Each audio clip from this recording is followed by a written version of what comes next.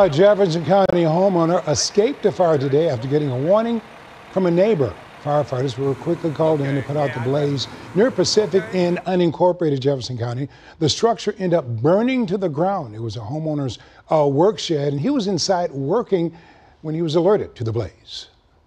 So you were inside working at the time? I was inside working. My neighbor ran over and said, Brian, you got a fire in the back.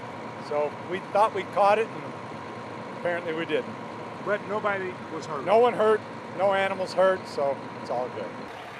That was a good thing. Fire officials did not give a cause of the blaze.